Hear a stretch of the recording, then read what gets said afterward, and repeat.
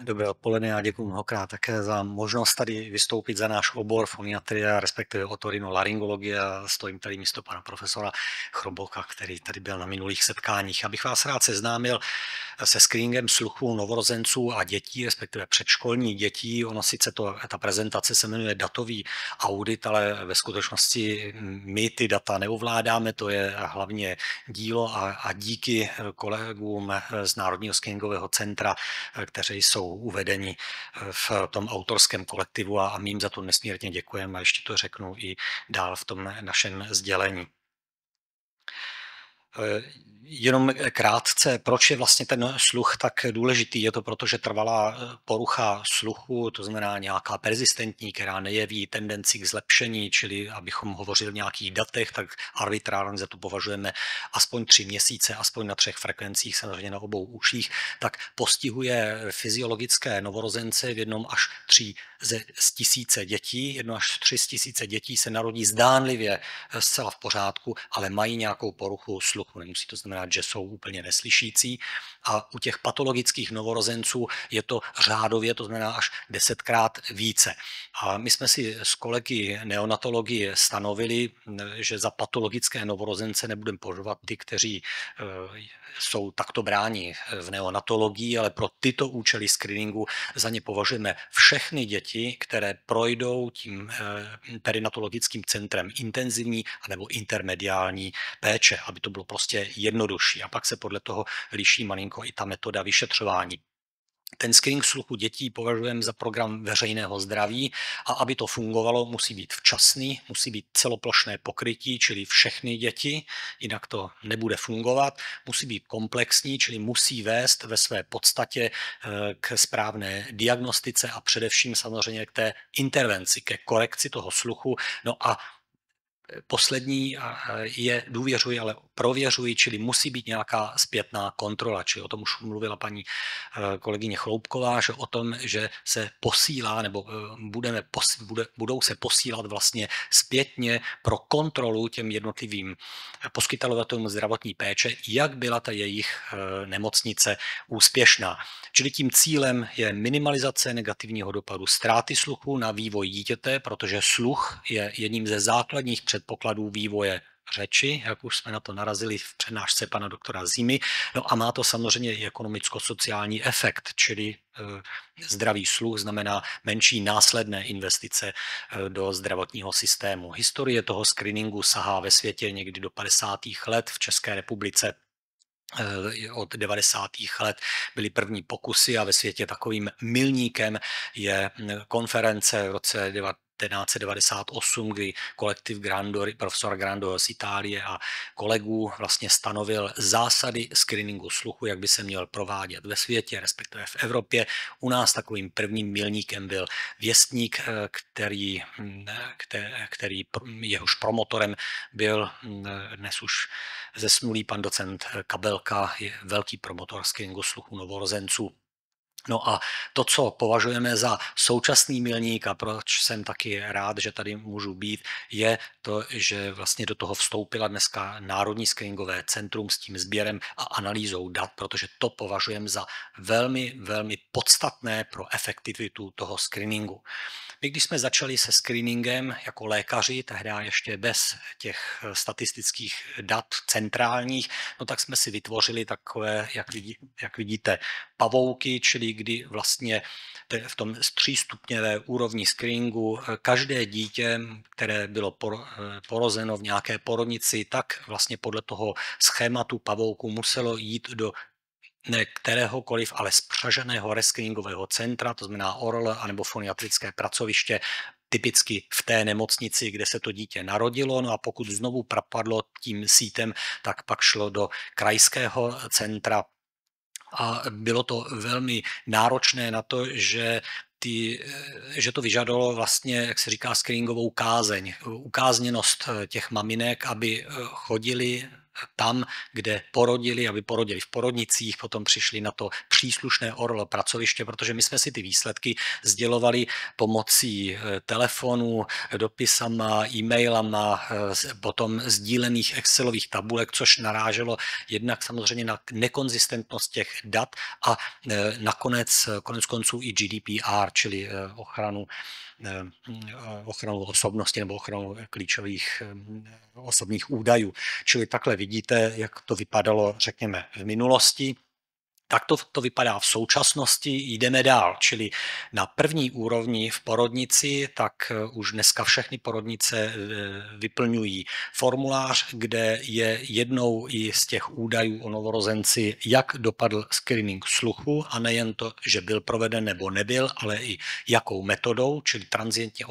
transientně evokované otoakustické emise jsou výhodné pro fyziologické novorozence, protože to je levnější, tam to stačí, zatímco u těch patologických o kterých jsem hovořil, je potřeba udělat eh, takzvanou automatickou béru, čili sluchové kmenové potenciály, které, jak vidíte na tom obrázku, postihují vlastně funkci celé té sluchové dráhy až po ten symbolický mozkový kmen. Čili pokud dítě projde tímto vyšetřením, že je v pořádku, tak máme za to, že toto dítě slyší a nemusí být dále sledováno, to je zhruba asi tak 90% dětí. Pokud eh, dítě neprojde, tak to neznamená, že neslyší, znamená to jenom, že máme pátrat dál a že se posune do toho druhého levelu. A co je důležité, ty údaje z té porodnice eh, se zapisují do Národního registru vrozených vývojových vad, je to e, e, elektronický formulář. Zatímco na té druhé úrovni tam už toto eh, není možné, čili výsledek toho rescreeningu, který se provádí na ORL pracoviští, zase metodou emisí nebo automatické béry,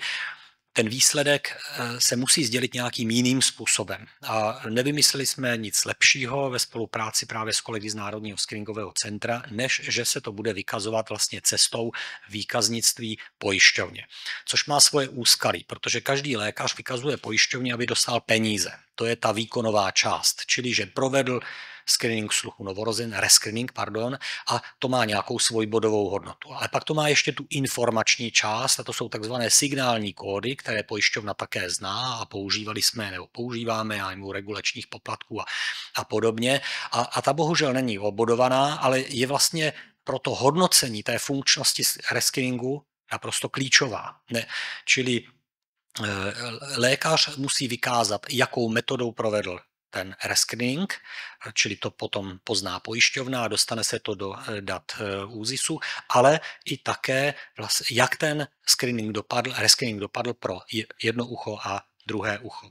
Pokud znovu to dítě takzvaně propadne, čili dvakrát vlastně je ten screening pozitivní, to znamená zachytí možnou sluchovou vadu, tak spadne na třetí úroveň PET audiologického centra, kde v podstatě ty děti rozřadíme do jedné asi z třetiny, kdy řekneme, ne, to všechno předtím byla nějaká šalba, dítě pravděpodobně slyší dobře, ale my ho ve skutečnosti sledujeme dále, nebo z té druhé skupiny pravděpodobně to bude hluchota a to dítě dostane rychle sluchadla, ale směřuje, řekněme, jako kandidát kochlární implantace, anebo to je zhruba tak ta, ty dvě třetiny, největší část těch dětí, znamená, že ano, potvrdíme nedoslýchavost a má to zase nějaké své konsekvence a proč mě běží čas, tak eh, se o tom nebudu dál eh, roz, rozprávět. No a tady teďka nastupuje to podstatné. V roce 2023 proběhla ta změna administrátora. My jsme tuto obrovskou, náročnou a vyčerpávající práci předali na Národní screeningové centrum a díky našim kolegům eh, vidíte už první výsledky právě z toho roku 2000 20, nebo od roku, jak to probíhalo od roku 2016 do roku 2023, protože ty naše data zanalizovali, čili vidíte, jak v porodnici vlastně stoupá to pokrytí screeningem sluchu novorozenců, prakticky můžeme říct, že porodnice pracují perfektně, čili máme téměř 100% výsledky protože a je to i díky těm elektronickým formulářům, ačkoliv samozřejmě se nemocnice variují, některé prostě mají jenom to pokrytí třeba 80%. Takhle vidíte na, na tabulce a hlavně na tom grafu, mapě České republiky, jak to zastoupení je řekněme, ne úplně rovnoměrné. My samozřejmě z Hradce Králové jsme pišní na to, že nejen jsme promotorem toho screeningu, ale museli jsme jít vždycky příkladem, takže jsme nesměli dopustit, aby Hradec Králové pak z toho vyšel jako ostuda. My v tom eh, spolupracujeme hlavně s kolegy také nejbližšími, čili z Pardubic a dále s, Ostra, s ostravským pracovištěm. No a jsme u toho rescreeningu, Čili ten je na podstatně horší úrovni. Čili tam vidíte, jaké má úskalí to vykazování pomocí signálních kódů, čili tam ty hodnoty zdaleka nejsou, nejsou tak výborné. Na druhou stranu víme, že prostě musíme dál, jiným způsobem nejsme schopni ty výsledky získat. No a tady potom už jsou konkrétní data, čili znovu vidíte na tom velkém koláči, že eh,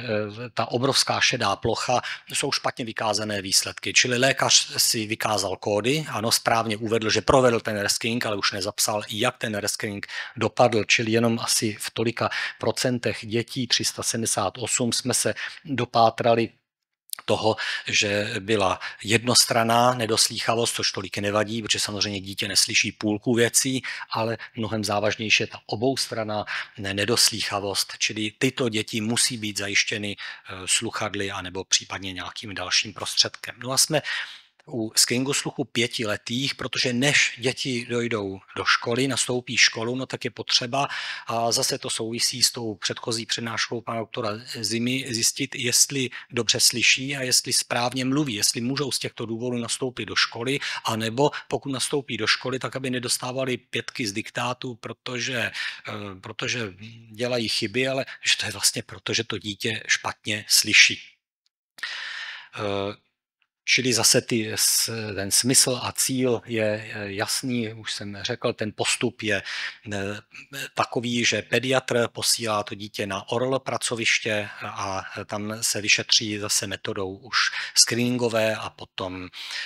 definitivní audiometrie. A zase ten, výsledek, zase ten výsledek, ta informace je o tom, jakou,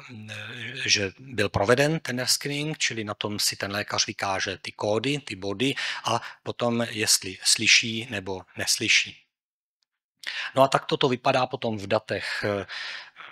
ÚZISu, čili pokrytí cílové eh, populace tím screeningem sluchu v čase. No a tady vidíme, že jsme o něco úspěšnější od té doby, co ten eh, screening sluchu pětiletých začal, no tak jsme se dostali zhruba na čtvrt dětí školního věku, které opravdu tím screeningem prošly, což v tento moment považujeme za úspěch, ale hlavně tím úspěchem to, že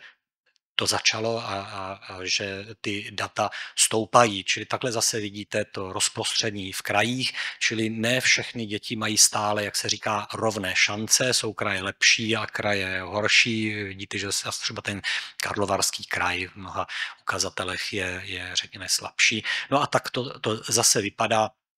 Potom v těch výsledcích konkrétních vidíte, že ten šedivý koláč je o něco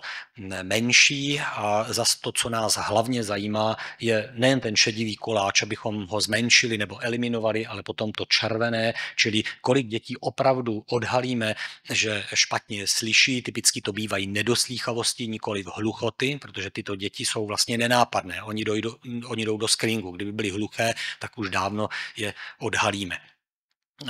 E, čili je důležité je zajistit nějakým způsobem. Typicky to jsou sluchadla. Čili co říci na závěr, screening sluchu novorozenců samozřejmě z našeho oboru považujeme za velmi důležitý, protože sluch je jedním ze základních smyslů Hluchota nás odděluje od lidí, od komunikace a zároveň je to základním předpokladem vývoje i řeči, čili ten screening je trojstupňový, to nemůže být jedním eh, vyšetřením udělaná diagnóza, čili je zásada screening do tří dní, dokud je dítě v porodnici, rescreening do tří týdnů, čili než dojde na kyčličky, jak říkáme, diagnostika do tří měsíců, čili aby to dítě bylo jasné, jestli teda slyší nebo je nedoslýchavé, proč je nedoslýchavé, jaké je tíže toho, té nedoslýchavosti a aby mělo zajištěné sluchadla, anebo v případě hluchoty, aby eh, bylo rychle předáno na, do centra kochlární implantace a zajistil se vývoj sluchu a tím pádem i vývoj řeči. A důležitý je i ten screening pětiletých, ono je to takto nazvané, protože tak toto chce pojišťovna, ona chce nějaký konkrétní věk, ale ve skutečnosti nám jde o tu školu a ten nástup školní docházky. No a to, co je vůbec možná nejdůležitější v tento moment pro ty šedivé části těch koláčů je to sledování výsledků, kontrola správnosti, kterou nemůžeme dělat my lékaři, ale musí to dělat nějaký centrální státní ústav, čili ještě jednou a na konci velmi děkuji kolegům z autorského týmu z Národního screeningového centra, kteří vlastně toto zajišťují a je to obrovská práce, která nám nesmírně pomáhá. Děkuji mnohokrát za pozornost.